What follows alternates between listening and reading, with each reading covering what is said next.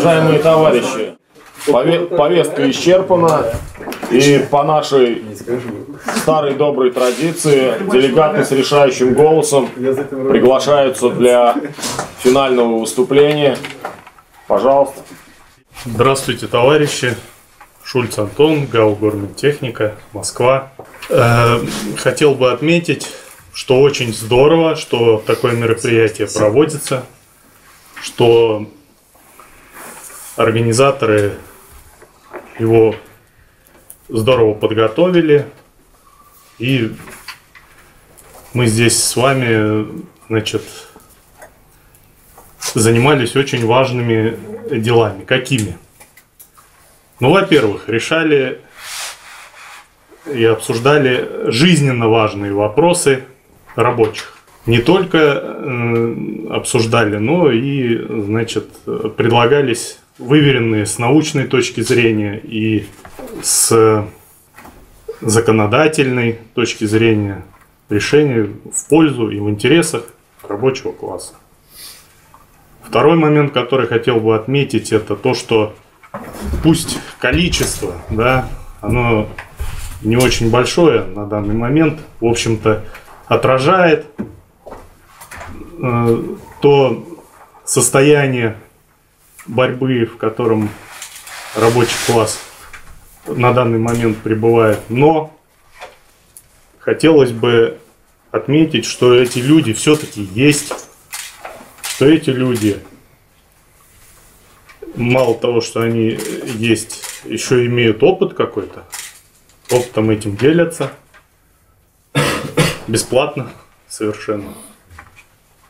Вот. Что странно. Что э, и актуально. И актуально, и ну, ничего странного здесь э, нету, просто такой комментарий. Вот, и соответственно я хотел, э, помимо благодарности организаторам и, значит, того, что отметил какие-то вот такие ключевые моменты, хотел бы еще призвать рабочих просыпаться. Э, люди есть, которые борьбу ведут. Это видно. Из года в год люди приезжают на данный семинар. И я вот призываю рабочих делать то же самое. Обучайтесь, боритесь. Спасибо. Алгаспан Интернешнл, Радио Ну, в целом, довольно-таки тоже очень рад сегодняшней и вчерашней сказать, встрече. Первый раз впервые я нахожусь. Очень приятно. Все заинтересованы в той или иной, допустим, в той или иной проблеме. То есть все пытаются что-то решить, тем более совместно. И уже у кого-то есть какой-то свой опыт ведения той или иной, допустим, борьбы. И очень рад тому, что мы сейчас все вместе помогаем друг другу, непосредственно находясь даже на расстоянии друг от друга. И находясь именно здесь, не два раза в год, а благодаря тем же самым соцсетями и так далее, ну, вплоть до переписки письменной. Можем все это сделать и то есть со, нас со своей стороны тоже обещают о последствии, если возникнут какие-то вопросы, обменяемся контактами, возможно, может и мы поможем чему-либо. То есть у нас тоже уже имеется какой-то свой опыт борьбы непосредственно за восстановление и борьбы уже с восстановившимся, так сказать, уже устоявшимся нашим, назовем его желтым профсоюзом, который уже на данный момент представляет интересы работодателя, нежели наши. Мне все, спасибо. Спасибо. Федин Андрей, город Королев, оператор стандарт ЧПО. А, хочу сказать, что не первый раз уже на конечно, похожи всегда друг на друга и немного в то же время разные. Сегодня такие дискуссии были оживленные, баталии, можно сказать, ошибки. Вот. Ну, все, выправили, выровняли. Потом я считаю это мероприятие, как я уже, может, и говорил, что такие мероприятия они делают, я, я считаю и убежден в этом историю. Она меняется, всегда развивается, общество и не просто меняется, развивается как-то, оно, как всегда, его развивает какая-то часть общества где-то. Потом к ним все присоединяются. И рано или поздно вот все должны будут присоединиться все-таки к этому. И вот Александр Владимирович Золотов тоже здесь уже заметил.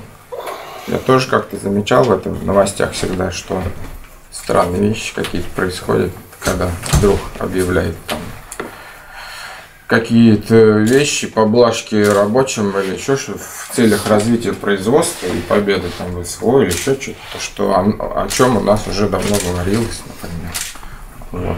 Как-то Александр Владимирович подтвердил это, я теперь точно убежден, что нас и смотрят, и слушают, и не только рабочие, а те, кому там думать неохота, они просто берут, на, я не знаю почему, берут фонд рабочей академии и, ага, может быть, что им не жалко, хоть чуть-чуть, но выцепляют и притворяют жизнь даже без нас или нашей там воли. Но э, воля наша есть, конечно, в этих решениях. Сюда приехать нужна воля и так далее. Осознать вообще свои интересы коренные и так далее.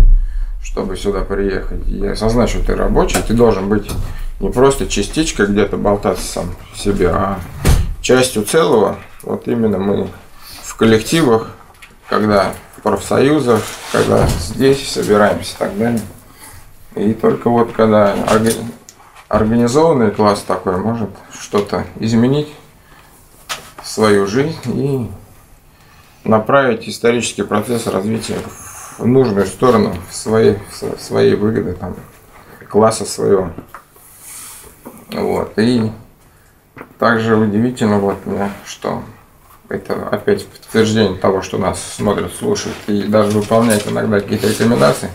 В 2014 году тоже я удивился, вот, что ролик вышел э, э, Михаил Васильевич как рекомендации. Это еще когда только началось СВО.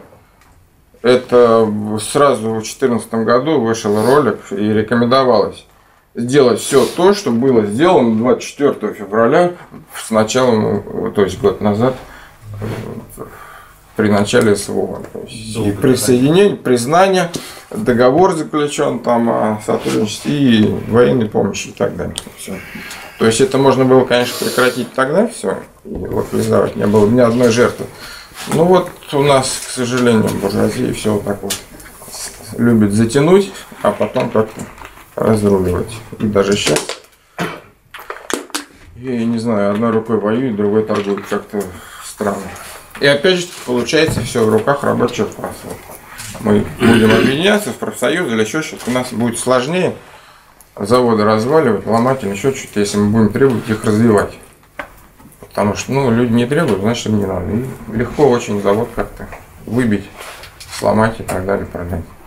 Даже сейчас продается, я вот статью читал недавно, а в период СВО, такое тяжелое время, когда на нас там каждые 24 часа говорят, что на нас 50 государств там навалились, у нас разваливаются предприятия оборонные, где автоматические линии по производству снарядов, боеприпасов и так далее чисто разваливаются потихонечку и продается по частям под какие-то жилищные комплексы или еще что-то. То есть выгадывается сиюминутная выгода.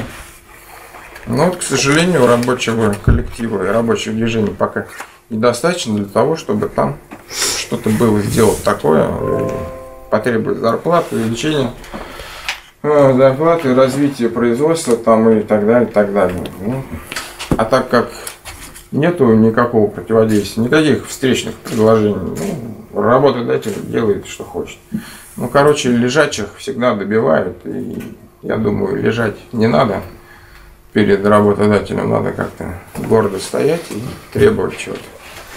Ну, а чтобы требовать, желательно мы должны быть все вместе и вот так вот дискутировать и понимать, где можно требовать, стучать кулаком, где нет, где-то подождать, как, в какой форме и так далее. Для этого нужно делегироваться, приезжать на Российский комитет рабочих, обучаться этому и так далее. Ну, как-то вот так. Спасибо. Спасибо. Соловьев Василий Феликсович, город Ленинград, объединение АО «Красный Октябрь», электрогазосварщик.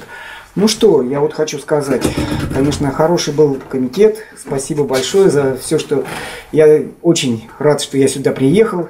Также приеду еще раз и 5 ноября, буду здесь всегда решать вопросы. Ну, конечно, только вот одном сожалею, что вот э, разошлись мы во взглядах по поводу выслуги лет. Ну ладно, это я думаю, что вопрос когда-нибудь мы решим. Я вот больше всего разделяю мнение вот с Тимуром, как он говорит. Надо учить рабочих, воспитывать. Правильно. А если ты не хочешь, так извини, ты нам не подходишь. Вот. И просто в дальнейшем, то, что я считаю, что мое выступление так или иначе будет в газетах, и народ так или иначе, вот в чем-то, если меня поддержит, значит я добьюсь своих успехов. Главное иметь цель и идти к ней, а идущий всегда добьется. Ну, Спасибо.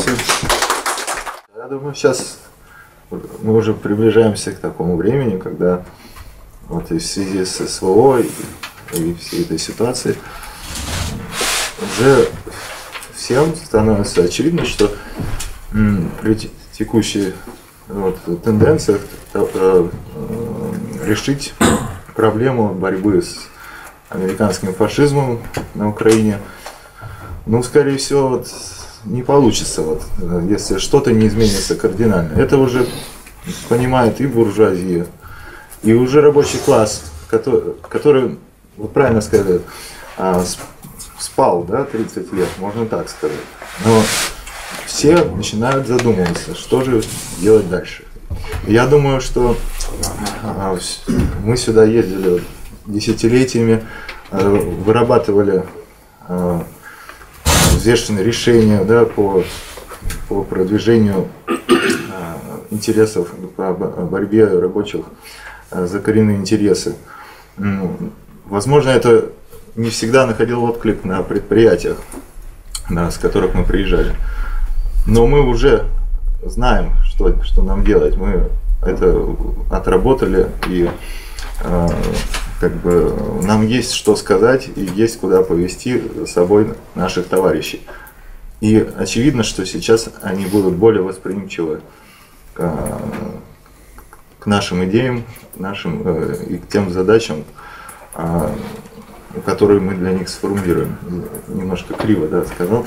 Но я думаю, что понятно. И буржуазия здесь, ну, если все сделать грамотно, по науке, э, ну, в открытую только откровенные враги России могут э, выступать против так, инициатив рабочего класса. Ну, я думаю, что это будет для них нежелательно это себя так ра- раскрывать прямо в открытую. А, Ну, а сама при этом буржуазия, даже вот, не, которая не является врагами России, но она не- может. У них все-таки конкуренция всегда между собой.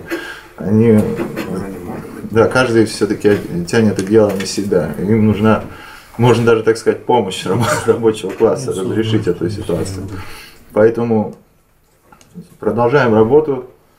Я уверен, что успех все, нас ждет всех. Э, И, не так, и успех не за горами. Все. Спасибо. Да. Алексей Михайлович Чопа, э, экспериментальный производственный комбинат УРФУ. А, На Российском комитете э, уже в шестой раз. И каждый раз я замечаю новые вещи, новые решения приходят. э, Обсуждаем, когда какие-то вопросы, э, обсуждаем э, правки к постановлениям рождаются интересные какие-то мысли, которые можно использовать в работе коллектива. Но самое интересное, что я заметил в этот раз, это такое понятие, как инициативные группы, инициативные комитеты. Они э, звучат практически у каждого, у каждого рабочего. Что это значит? Что вся наша работа, она построена на инициативе и на инициативе улучшать положение э, всего коллектива трудящихся и как э, и личное положение как часть э, всего коллектива. То есть люди это начинают понимать и проявляют именно вот, вот, вот это слово инициатива. Мы должны проявлять инициативу. Вся работа профсоюзная, э, вся работа по улучшению положения рабочих, по э, в том числе по основ- увеличению обороноспособности нашей страны, оно по- построено на инициативе рабочих. Зачастую даже себе в ущерб мы где-то трудимся, работаем для, а, проявляя инициативу, а, улучшить положение а, всего общества. В общем, хотел бы пожелать нам больше проявлять именно инициативу, работать в коллективах, призывать проявлять инициативу. Всем спасибо. Юрий Павел Юрьевич, э, слесарь-модник 4 разряда, Самарская ГРЭС. Неоднократный уже участник Российского комитета рабочих. И что хочется сказать в этот раз? Ну, все здесь говорят про борьбу, о том, что бороться нужно. Есть такая фраза «В борьбе обретешь ты право свое». Я бы хотел немножко перефразировать, что в борьбе обретешь ты еще счастье свое. Потому что, находясь вместе с людьми, которые борются за лучшее, за развитие, за то, чтобы люди воспряли ото сна, ты становишься счастливым, находясь с этими людьми, здесь ли, переписываясь ли с ними, в интернете, созваниваясь, чувствуешь очень серьезную поддержку. Поэтому товарищи рабочие, которые, возможно, в своей жизни не видят просвета, приезжайте сюда, мы вам поможем, как говорится, бороться дальше совместно со всеми. Спасибо. Гордемин Максим Владимирович, РКЦ «Прогресс», город Самара. Хотел отметить, что вопросы в этот раз у нас решались очень важные, очень значимые. Решения приняты очень интересные, которые интересно реализовывать. Э, Решения очень мощные, поэтому полное удовлетворение от того, что у нас сейчас произошло. Организация мероприятия, как всегда, на высоте. И видно, что с каждым разом мы работаем все плодотворнее, все более эффективнее. То есть вопросы решаются быстрее. Да? То есть первые разы, которые мы приезжали, мы могли ввязнуть в дискуссиях на очень большое время и а, затягивалось периоды принятия решений, да, сейчас это было быстро, эффективно, и по результатам решений видно, что все, все это прям отточено до мелочей. Вот. Рад, что приехал, рад всех видеть. Вот. Всем спасибо. Андрей, Ижевский хлебозавод, э, оператор линии. Э, Хотелось бы как бы обратить внимание на один из таких моментов. Э, Хотел как бы рассказать, что у меня на заводе об этом говорят, да, но услышал сегодня про спящее сознание некое там этот. Может быть, конечно, люди говорили это иносказательно, но просто вот этот момент, он- очень важный для понимания именно для борьбы рабочих, что Нету в людях, да, оно не заложено там какими-то генами, что вот какое-то пролетарское сознание, и вот оно по какой-то там причине в какой-то момент или еще когда-то э, неожиданно вдруг само по себе проснется. То есть э, люди растут в буржуазном обществе, и э, у них в голове, э, в массе своей буржуазное сознание. И поэтому очень важно вот это понимать, что пролетарское сознание туда могут положить только те люди, которые э, этими знаниями обладают. То есть в том числе те, которые здесь присутствуют. Поэтому, когда вы приходите на к себе, допустим, на предприятие или общаетесь, в принципе, с рабочими или с людьми, причастными к этому, нужно, важно, э, нужно и важно понимать, что в массе своей э, сознание у людей буржуазное. То есть в том, что они мыслят э, в буржуазном аспекте, это Это нормально, потому что мы живем в таком мире, в котором мы живем. И поэтому очень важно понимать, что вы должны до них донести, то есть им разъяснить, объяснить, почему э, нужно придерживаться науки, да, почему ленинизм это именно э, пролетарская наука, да, то есть пролетарская идеология, это идеология рабочего. И она не возьмется у рабочего просто откуда-то из генов. То есть это то же самое, что, не знаю, думать, что в какой-то момент таблица умножения, раз, и ребенок, он теперь ее знает. Нет, он ее учит, то есть мы постоянно заставляем детей считать, читать, писать. Также получается и с рабочими, то есть им нужно постоянно напоминать, постоянно их учить. Если вы где-то что-то увидели, услышали, то есть, э, как Максим сказал, э, даже вот я вот постановление, когда буду людям показывать, вот есть пункты, прямо вот смотрите, то есть это выстрадано э, нашими предками, да, то есть это не берется так, что вот мы посидели и вроде как бы давайте поднимем себе заработную плату. Нет, это все идет из нашей жизни, то есть это идет из той науки, которую мы изучаем, из тех книжек, которые мы читаем, из тех видео, которые для нас записывают э, э, знающие люди, да, которые пытаются донести до нас эту науку. То есть э, важно понимать, что э, как бы нету никакого волшебства.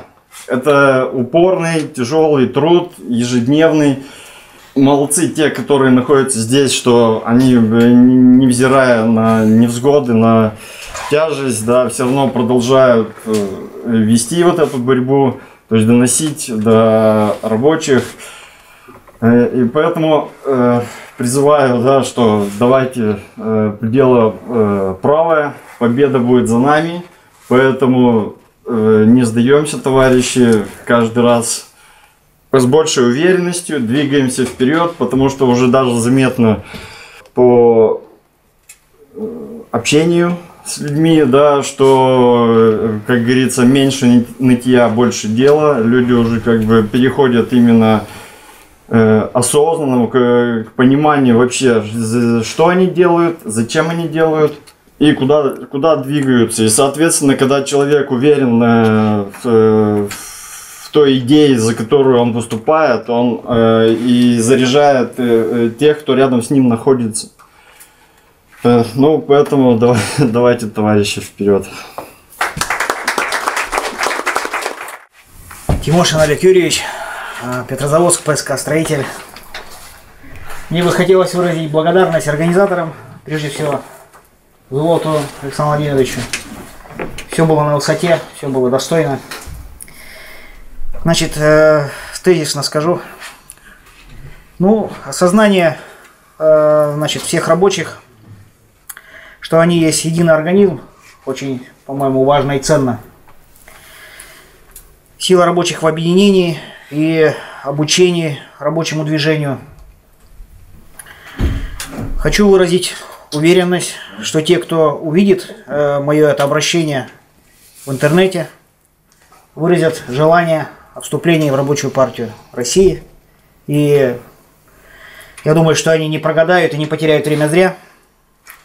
Ну и очень доволен приездом сюда на РКР. Всех был увидеть рад своих товарищей, коллег по борьбе. Все, спасибо. Меня зовут Баров Павел, я из Самары, РКЦ «Прогресс». А, Хочу выразить благодарность э, всему составу э, за то, что движете наше молодое поколение в правильном направлении и, являетесь для нас непосредственно опорой. Здесь звучит очень много интересных и главных мыслей, которые даже людей, которые не особо разбираются, я имею в виду себя в, в этих делах, э, заставляют задуматься и начать в этом разбираться. Спасибо. Денев Владимир, Самара, РКЦ «Прогресс». Хотелось бы всех поблагодарить. Получил очень э, большой объем информации, которую постараюсь донести до своих коллег по цеху и в дальнейшем по заводу, чтобы привлечь еще больше людей к нашей борьбе. Ну и от э, съезда получил также моральное удовлетворение и очень много ответов на вопросы которые оставались загадкой для меня до момента, когда я попал сюда. Именно все. Спасибо. Все всему нужно электрические сети город Иркутск. То есть тут и так все заряженное, как бы, поэтому хвалить или там осуждать вас дело бестолковое. Я хочу обратиться к людям, которые сейчас здесь не присутствуют. Кто нас будет читать, смотреть. То есть, если кто-то решил отсидеться, ну, то посмотрите, что у вас на производствах. То есть вы там пытаетесь отсидеться, и посмотрите, что руководство не способно руководить. Именно это толкает нас к тому, что мы должны организоваться. Мы должны начать руководить своим предприятием сами. Вы отсиживаетесь там, предприятия ломаются. Нужно действовать, нужно организовываться, нужно сюда приезжать, налаживать свои предприятия, чтобы они работали, чтобы у вас была работа, чтобы у ваших детей потом тоже была работа. Как-то так. Отсидеться не получится. Давно езжу. Вот, и рад новых лиц приветствовать, молодых. Вот. Ну, в это время такое сейчас непростое для, для нашей страны, для вот, России, для рабочих, для рабочего класса, как, в общем-то, главные движущие силы общества. Вот. Ну, а то, что, то, что сейчас рабочие ну, вот, в таком подавленном состоянии, да, и как раз это и говорит о том, что что страна, да, в таком же, в таком же тоже вот, состоянии, экономика, вот, и главная производительная сила. Вот, ну, вот надо как-то подниматься. Вот, подниматься, и вот комитет наш как раз этому способствует, чтобы рабочие себя начинали себя уважать, начинали бороться за свои интересы. И в этой борьбе когда чувствуешь вот плечо товарища, вот как раз и рождается вот новая, новая сила, новая вот э, в борьбе в этой. Так что, ну, другого пути нету, вот и другой силы нету у России, которая бы смогла изменить ситуацию, переломить вот. Ну вот, а как объединяться? Ну вот многие говорят, что об объединении, да, часто слышишь там и по телевизору, что надо вот объединяться. А как объединяться? Ну где, в ЖЭКе что ли там или, ну, с соседями по площадке?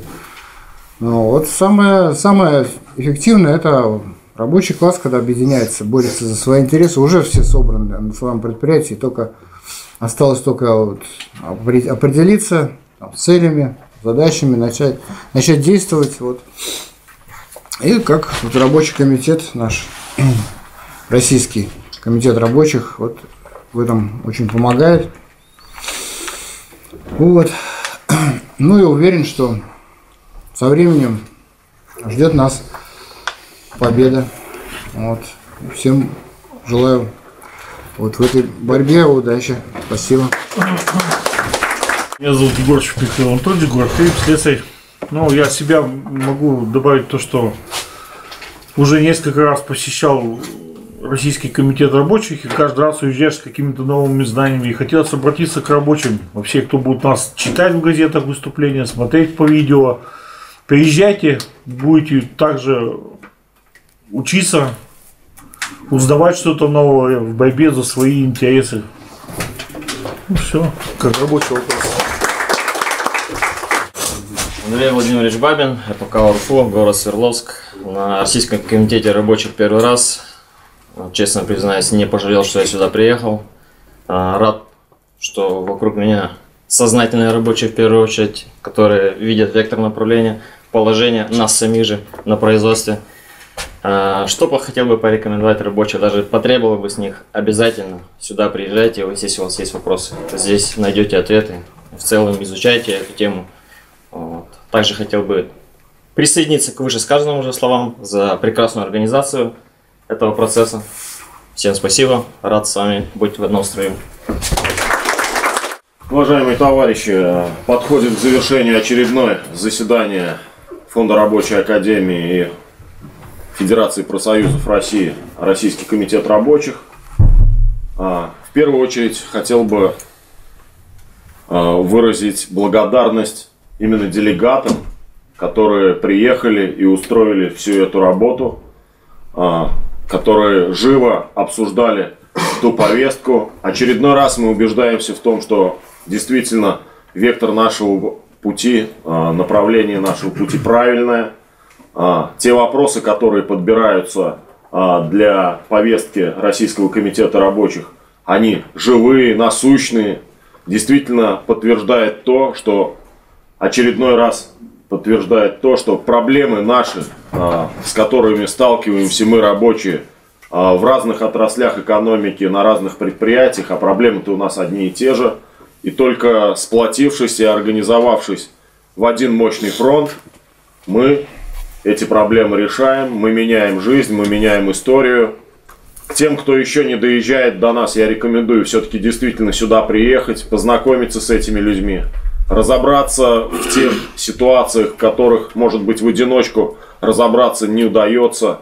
У нас колоссальный теоретический опыт, у нас такие старшие товарищи, которые как бы не дадут тебе свернуть в ненужную сторону. То есть идем мы проверенной, проторенной дорогой, да, а, прошли года, когда все завоевания октября были растеряны, но мы видим, во что это вылилось, куда делась та мощная страна, что с ней стало, и видим, что на сегодняшний день а, немного,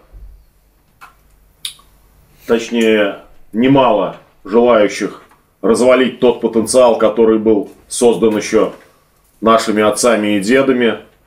За нами будущее страны. Мы именно производители тех материальных благ, которыми пользуются все остальные а, наши граждане – то есть мы действительно можем себя по праву считать хозяевами жизни, мы рабочий класс. И рабочий класс жив, победа за нами, товарищ.